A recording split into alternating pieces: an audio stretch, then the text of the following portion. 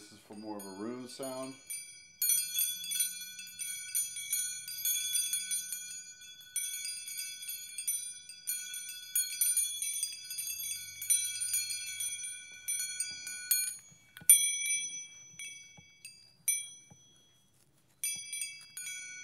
I'm going to try to do one bell at a time.